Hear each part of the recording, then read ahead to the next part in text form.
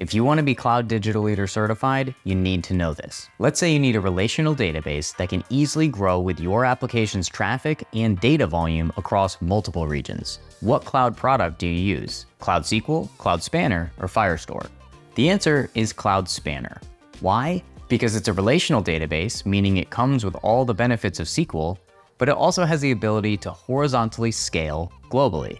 Therefore, it can grow with your application's traffic and data volume across multiple regions. Cloud Spanner has a consistency of SQL databases, like Cloud SQL, with the scalability of NoSQL databases, like Firestore.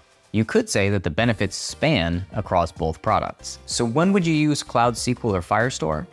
Well, if cost is an issue, and you only need a regional, not globally scalable, SQL database, then go with Cloud SQL. Similarly, if cost is a concern and you need global scalability, but not necessarily ACID compliant transactions or the need to join multiple tables, then go with Firestore. For more information on Cloud Spanner, Cloud SQL, and Firestore, as well as other training that will help get you Cloud Digital Leader certified, check out the link in the description.